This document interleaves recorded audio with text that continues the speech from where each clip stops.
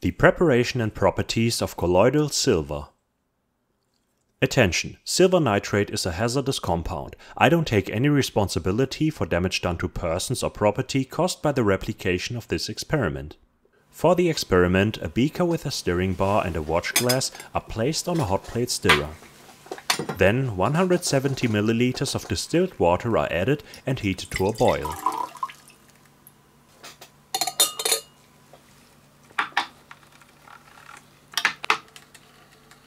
When the water is boiling, 2 milliliters of a 0.1 molar solution of silver nitrate is added first, followed by 4 milliliters of a 1% solution of sodium citrate. Then the solution is stirred for half an hour while keeping it above 90 degrees C.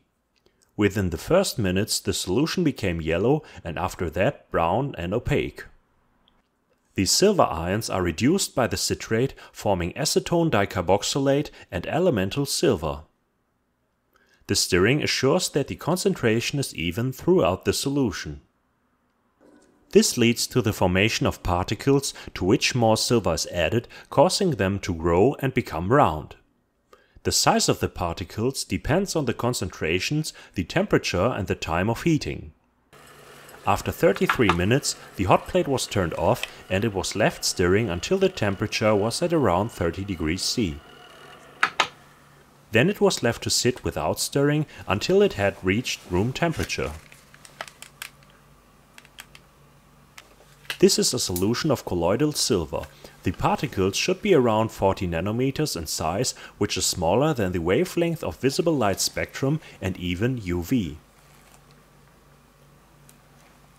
With a bright light it can already be seen that the light is influenced by the solution, but the concentration is a bit too high. That's why a part of it was diluted with distilled water. Due to the particles being smaller than the wavelength of light, Rayleigh scattering can be observed. This causes light with shorter wavelength, like blue and ultraviolet, to be scattered the strongest. So the light in the solution is blue right after the entrance, and later on only yellow and red are left over. When the solution is diluted further, it appears only blue in white light.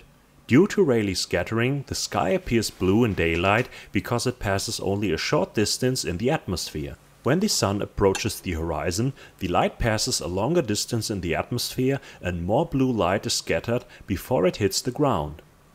That's why the sky slowly turns red on sunset as it does here with increasing thickness of the layer of the solution.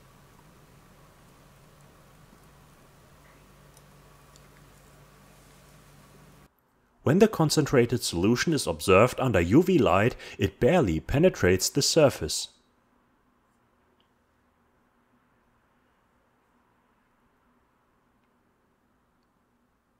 Even when a stronger light is used or a laser, the light is still scattered almost completely right below the surface of the solution.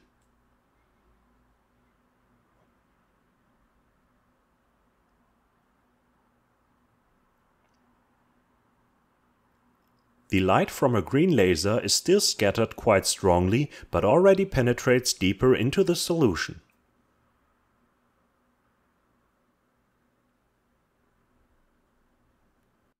The light from a red laser is even partially able to pass the solution at some points.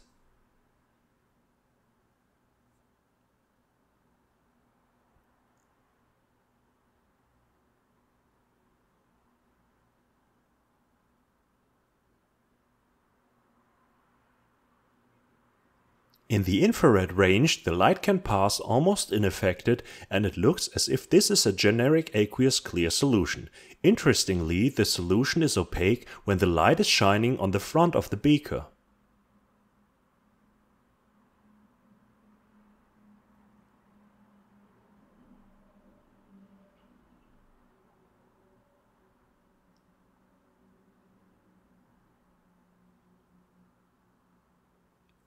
This were the preparation and properties of colloidal silver. I hope you enjoyed, please rate and comment. If you want to see the preparation of another interesting colloid, you can watch my video here, or you can watch my latest video here. A big thanks to my supporters on Patreon.